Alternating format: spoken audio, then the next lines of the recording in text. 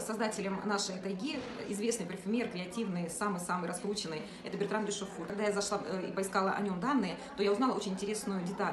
А, однажды во Франции, ну, в Париже собрались очень креативные молодые люди, фотографы, импрессионисты, там, в общем, они создавали проект, ну, в стиле, скажем, там, что-то хай-тек, еще что-то такое, ну, все необычное.